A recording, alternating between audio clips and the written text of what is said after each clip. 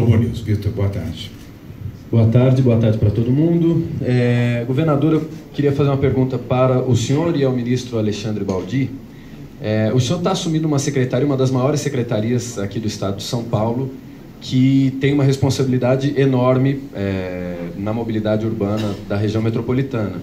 Só que o orçamento que vai ser votado essa semana, a LOA, que vai ser votado essa semana na Assembleia, traz uma redução de quase 10% do orçamento da STM, da Secretaria de Transportes Metropolitanos.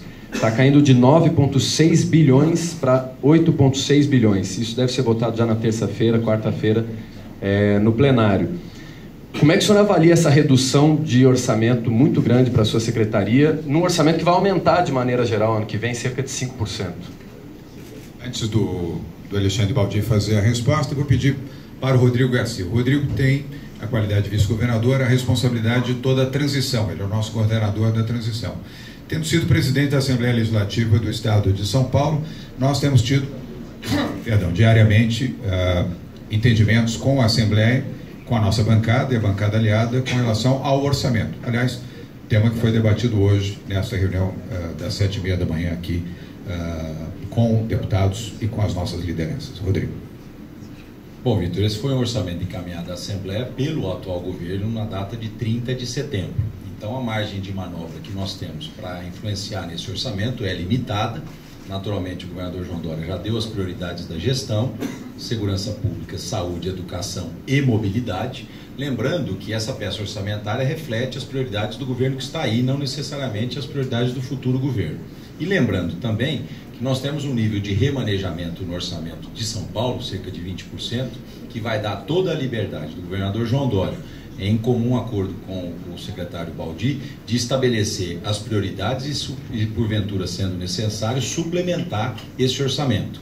Nós sabemos muitas vezes que o orçamento da Secretaria de Transportes Metropolitanos não foi executado por falta de prestação de serviços e muitos desses anos o São Paulo e o Brasil viveu esse, esse momento, mas lembrando, é um orçamento que reflete as prioridades do atual governo e o, e o governador João Dória, a partir do dia 1 de janeiro, terá liberdade, pelo remanejamento que tem, de suplementar, se for assim necessário, o orçamento da Secretaria de Transportes Metropolitanos.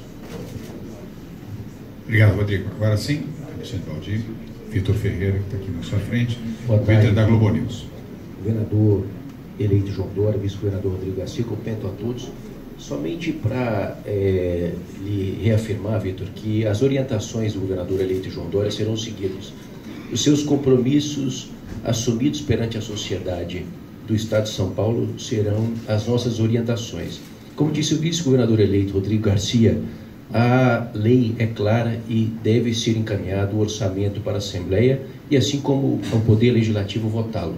Agora, as mudanças necessárias perante a orientação e perante ao programa de governo do governador eleito João Dória serão as diretrizes para 2019, que se fizerem necessárias o remanejamento e até mesmo o encaminhamento de uma nova proposta ao Poder Legislativo, isso se fizer necessário será feito.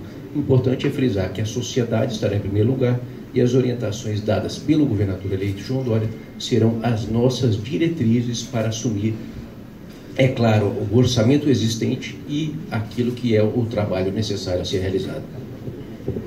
Obrigado, Valdir. O próximo jornalista